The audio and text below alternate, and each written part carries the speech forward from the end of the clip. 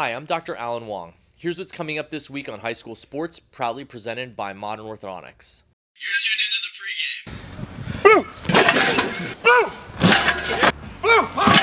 Come on, Nick, run your feet! I can't wait for Friday's game. We play Leesburg, and we're just excited to get to play a first game. It's usually always a good matchup, and we're just looking forward to playing somebody else besides ourselves. You already know we got to come out, start the season good. First game, so you already know it's really what determines the rest of the season. Leesburg just, y'all better be ready to play because we been just training and all that, so they better be ready.